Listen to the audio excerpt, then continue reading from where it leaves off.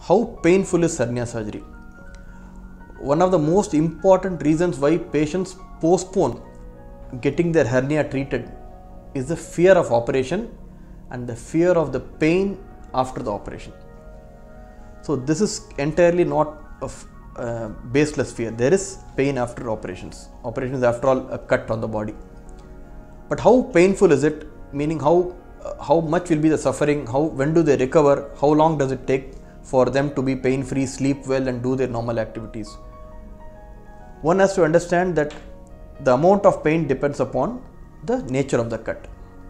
As more and more hernia operations are being done these days using the laparoscopic technique, which does not involve big incisions and big cuts, they are usually done with the help of very small keyholes.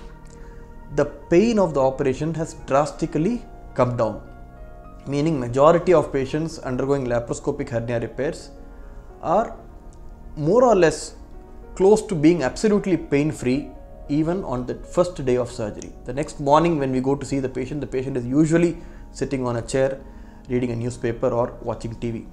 When it comes to open hernia repairs, when the incision is very large, we generally take adequate precautionary measures to make sure that the patient does not have excessive pain. How do we achieve that?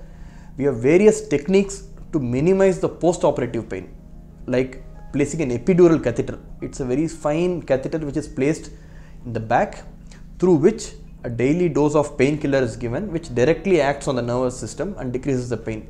Um, people must be familiar with this technique uh, which is used for painless uh, normal deliveries. We also have other techniques where we give focused nerve blocks at the end of operation so that the abdomen does not experience too much pain for the initial 3 or 4 days and the patient's recovery is smooth. Generally, the pain after hernia operations are is very much tolerable, and the patients usually will be able to walk the next day after the surgery.